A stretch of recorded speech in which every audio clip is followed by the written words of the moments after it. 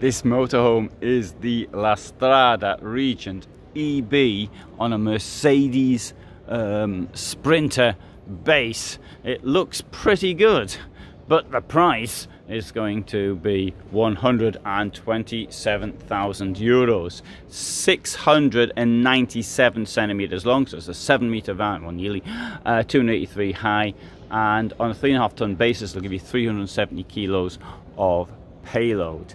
Uh, so, um, a long vehicle.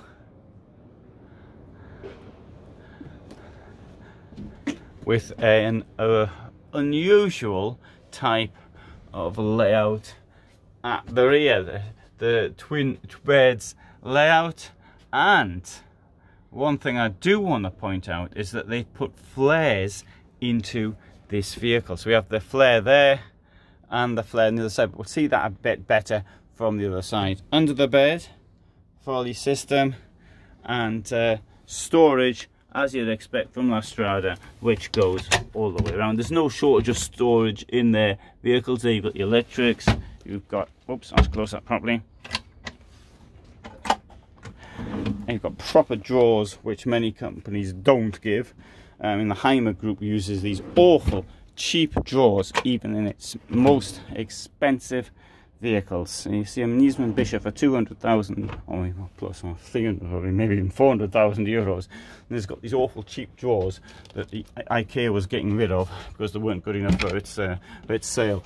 Anyway, uh, here, drawers up there. I want to show you this as well. Magnetic system for locking it. But oh, some of them are pretty, they're pretty tight. I'm losing a fair bit of force there to open that. Of course, it's new, I suppose in time it will cease to be uh, such a problem. Uh, up here as well, and show you the corner bit. Oops, sorry. There's the corner. Unfortunately, the corner bit here is, has gone to has gone to waste. Um, I quite like this metallic type copper, old copper look, but uh, that's me, and I presume that that's a uh, more uh, specific taste. Right, so if I'm sitting here, I can say as far as the bed's concerned, I think it's relatively okay. I think I, I think I just about manage it. Mind you, I like beds to be really, really hard. You know, even for me, concrete is too soft. I like it really, really hard. Uh, that was a little joke. Uh, domestic fridge that opens in both directions.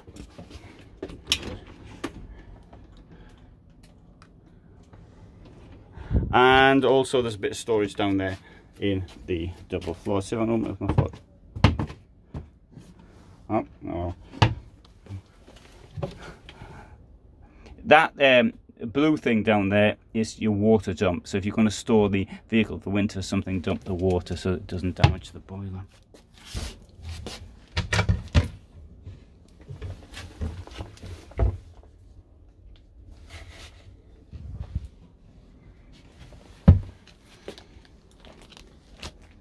Mercedes is not an easy vehicle to uh, build because of the shape of it, build camper vans.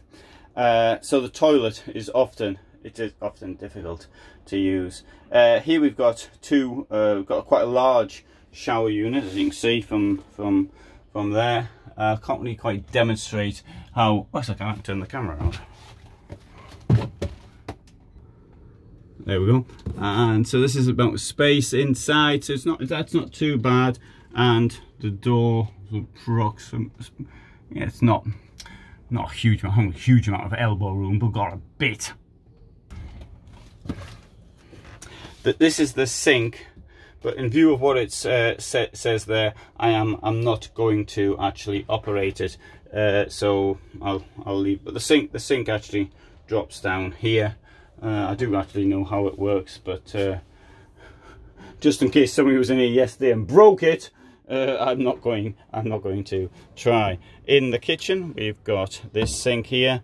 Um, unfortunately, it's got a small uh, drainage hole. Really should have a big one. Same goes for the shower, although the shower there is two. Uh, plenty of space between the gas burners. Uh, this may look a bit old. La Strada uses this this look. It it may look old. This is practical in a in a motorhome in a camper van. What is most important is practicality and not if it looks uh, really um, sort of super new and modern. Huge amount of storage in there so you can keep uh, you can keep your out of the your, your, suits your tuxedos all the other stuff you'll need when you're camping. And uh, there we've got these drawers in here out so if you want lots of storage uh, La Strada is the brand to choose. Um, table I suppose. Oh, well I'd rather have a bigger one but maybe I'm not going to get a bigger one. And uh, storage up there. That thing there may look like a bed but that's where the table goes when the vehicle is in motion. In fact, you can you can leave the table here, uh, I think, but it might get impinge in the uh, driver's way, and it, it might also impinge on the passengers who are at the rear. I'll have a walk around the outside because I want to have a look at the, at the flares. Now the uh, the flare on this side is always a bit shorter because of the door. So this has been brought out and let's go on the other side. Because the flares in this case weren't really necessary, they put them on. A flare is a significant cost uh, in in the vehicle. Uh, it's not it's not mine. It's it really is. It's quite it's quite it's quite significant, but uh, but it's there.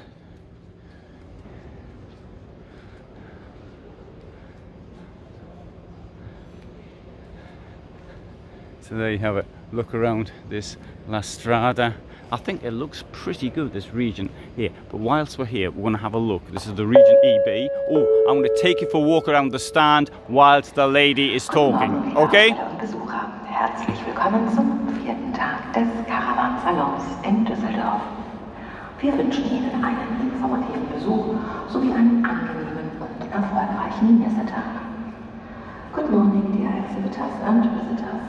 Welcome to the fourth day of Caravan Salon in Düsseldorf. We wish you an informative visit as well as a successful and pleasant day at the fair. Bonjour chers exposants et visiteurs, bienvenue au quatrième jour du Caravan Salon à Düsseldorf. Nous vous souhaitons une visite informative et une bonne journée pour du succès à la fois. Buongiorno cari espositori e visitatori. perché l'anno sbaglio che ho presentato Salomone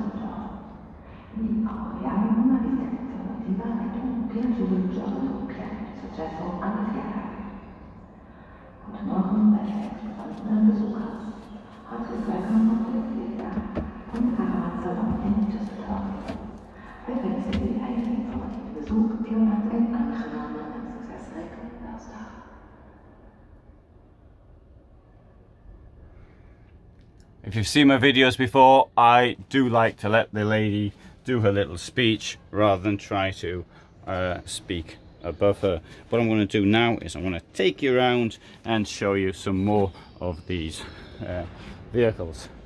So, so the Avanti, we've got this wonderful La Strada Nova, which has got a monocoque shell the Avanti uh, is on a Fiat Ducato basis.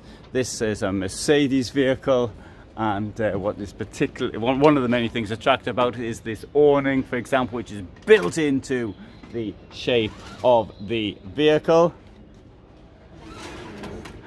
and uh, the, these uh, very wooden uh, I don't know if that's the right word it's this, this wood look uh, which has been introduced for the 2022 2023 2023 sorry season. Along with the sort of the copper uh, as well. Anyway you can see these in other other videos as well. Uh, so Fiat or um, uh, Mercedes uh, as a base vehicle. So thanks very much for watching I upload every uh, day at 21.15 and uh, from um, It's Central European time, my time. Uh, it's 2015 in the UK.